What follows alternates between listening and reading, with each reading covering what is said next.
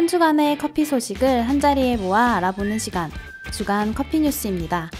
극심한 미세먼지에 목이 따끔거리는 한 주를 보냈는데요. 구독자 여러분들은 호흡기 잘 관리하고 계신가요? 최악의 미세먼지가 기승이었던 지난주, 커피 업계에서는 어떤 일들이 있었는지 지금부터 함께 알아볼까요?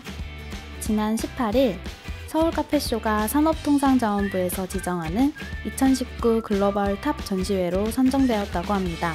산업통상자원부에서는 매년 주요 산업군의 국제 경쟁력을 갖춘 글로벌 탑 전시회를 선정하는데요.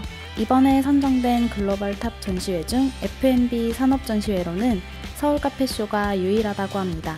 주최 측은 이번 선정 결과에 대하여 아시아 대표 무역 전시회를 넘어 세계를 대표하는 글로벌 대표 전시회로 성장할 것이라며 포부를 밝혔다고 하는데요. 올해 제18회 서울 카페쇼는 오는 11월 7일부터 10일까지 서울 코엑스에서 열린다고 합니다. 글로벌 탑 전시로 선정된 서울 카페쇼. 올해는 더 특별한 무엇이 있을지 기대해 보아도 좋을 것 같습니다. 스페셜티 커피를 겨냥해 출시된 란실리오 스페셜티 RS1.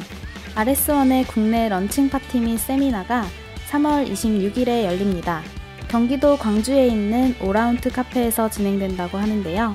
박대훈 바리스타의 스페셜티 에스프레소 추출 설계, 이강빈 바리스타의 라떼아트 trouble shooting, 송인호 바리스타의 WBC 시그니처 메뉴 시연 및 설명, 강민서 바리스타의 커피 칵테일 트렌드를 주제로 한 세미나가 준비되어 있으며 RS1을 편하게 사용해 볼 수 있다고 하는데요.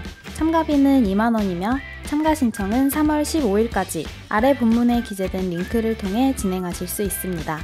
참가를 원하시는 분들은 지금 바로 신청하세요.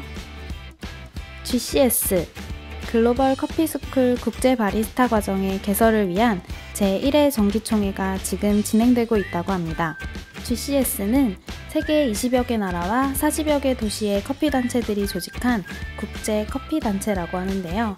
이번 총회는 미국, 중국, 한국, 베트남, 태국, 필리핀, 홍콩 등의 국가의 개설을 위한 세미나로 진행되고 있다고 합니다. 바리스타, brewing, 로스팅, 커피 향미 등급 분류사, 커피 science 5개 과목에 basic, advance, 마스터 레벨 총 3단계로 이루어져 있으며 점수가 기준 이상이 되면 GCS degree를 수여받게 된다고 하는데요.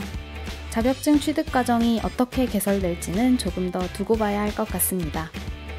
한국공예 디자인 문화진흥원이 문화역 서울 284에서 진행 중인 기획전시 커피사회를 오는 3월 3일까지 연장한다고 밝혔습니다.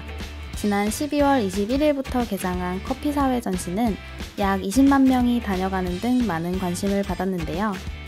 문화역 서울 284의 관계자는 커피를 통해 우리 사회 문화사를 되돌아보기 위해 기획한 커피사회는 많은 분들의 관심으로 완성될 수 있었다며 연장된 기간 동안 더 많은 분들에게 커피처럼 따뜻하고 향기로운 시간을 선사할 수 있길 기대한다고 합니다.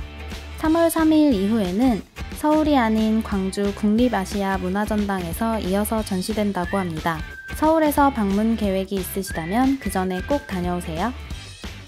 2019 제주 카페스타가 오는 28일부터 3월 3일까지 4일간 제주 국제 컨벤션 센터에서 개최됩니다.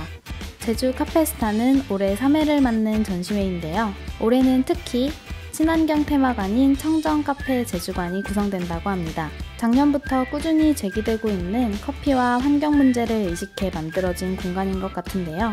청정 카페 제주관에서는 커피 전문점뿐만 아니라 가정에서 사용할 수 있는 친환경 제품을 소개하고 환경보호를 위한 다양한 방법을 제시할 예정이라고 합니다. 해당 기간 제주에 계시다면 한번 들러보시는 것도 좋을 것 같습니다.